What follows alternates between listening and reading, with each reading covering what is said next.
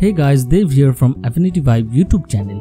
In this video, I will show you two best way to cut hair in Affinity Photo. Before start this video, be sure to subscribe and hit that bell notification for getting update whenever I upload a new video. And you can follow me on my Instagram account where I upload my new artwork on regular basis.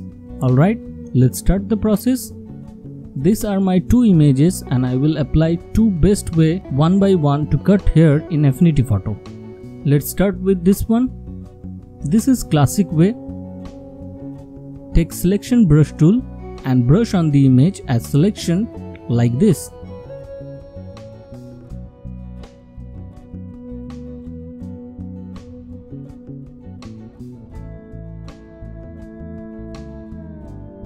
Use Q from keyboard to see your selection and again continue the process until you select the maximum part of the image.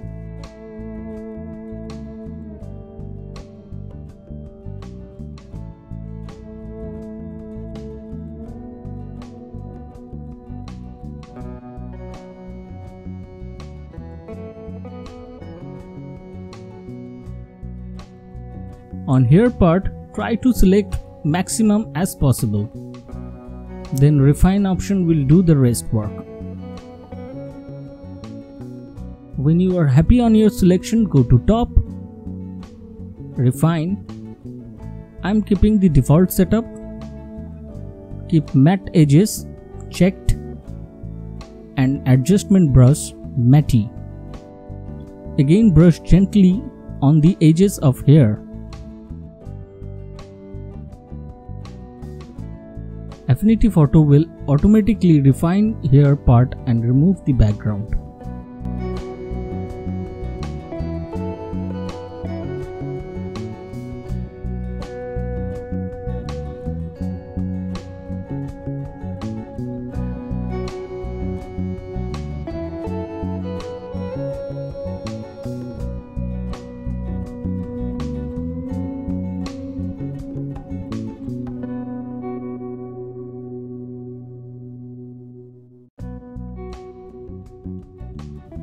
When you are happy and satisfied, go to output option and select mask and apply.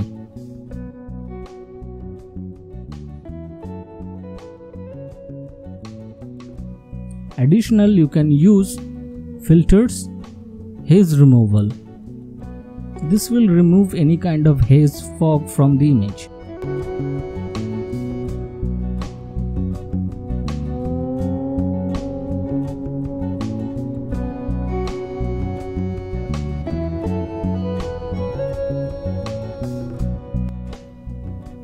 So this is the first best way to cut here.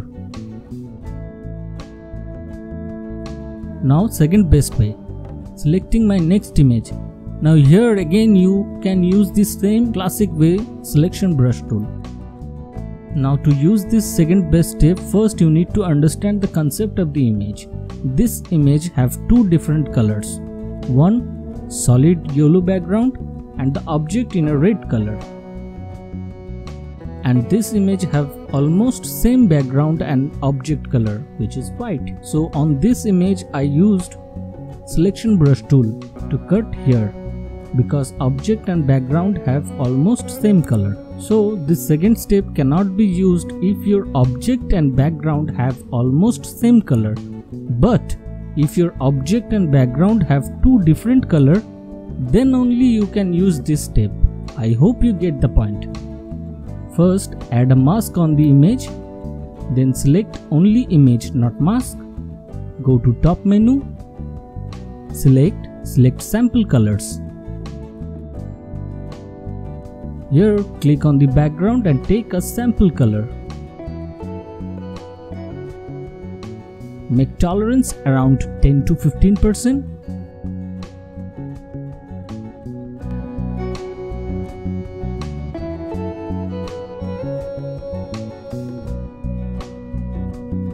and hit apply.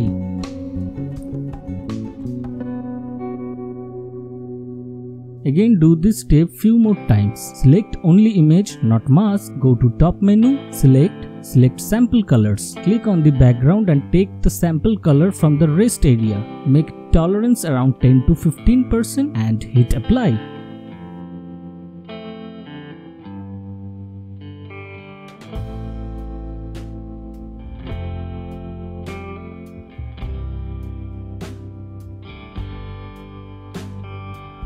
Now when you find main portion means ear part almost done but still background have the color then you can select paintbrush tool, select only mask and brush on the outside area to remove the background part like this.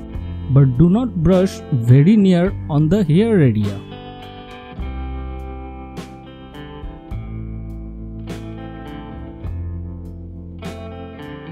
This is the reason why I add mask on the image. Again, same step, select only image not mask, select select sample color, click on the background where remaining color still left, click on that portion and take a sample color, make tolerance around 10 to 15% and hit apply.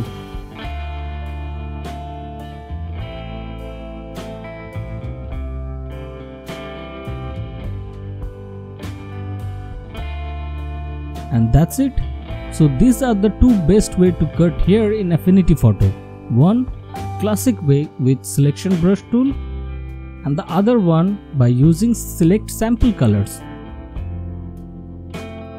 But use the second option only if the object and background have two different color. As always, I hope you enjoyed this video and if you did, don't forget to click the like button, sharing this video, subscribing this Affinity Vibe YouTube channel to get more amazing Affinity Photo Effect tutorial. Also share your valuable comment on this video. There are always room for learn and improvement. You can connect me on my Instagram account, link in video description and also you can check out the other amazing video just waiting for you in this channel playlist.